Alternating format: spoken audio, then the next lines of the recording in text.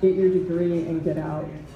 And really, that's what's often told Native students in, in places like this is that uh, the only choice is to either play the Indian, you know, play the mascot or the princess, or to, um, you know, or, or to internalize it. And when you internalize it, you know, that's not good for anybody. To internalize the overt and covert racism that's played out through this imagery in the community. Um, and, and a way I want to say that images also become a litmus test for how you're treated. Are you a good Indian? Or are you a bad Indian?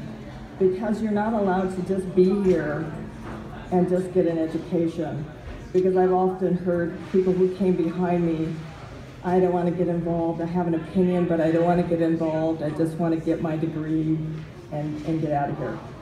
And the problem is, is that nobody will let you have, you know, that safe place. They always ask you, what's your opinion, what's your opinion, what's your opinion? So it becomes a litmus test for how you're treated. If you agree with them, then you're the good Indian, right? You know, if you uh, play the Indian, you know, you become, you know, their good Indian. If you disagree, then you become the bad Indian. So it creates that hostile environment for Native people who just want to get an education like anybody else. And of course, I came here to get an education, not to cause trouble.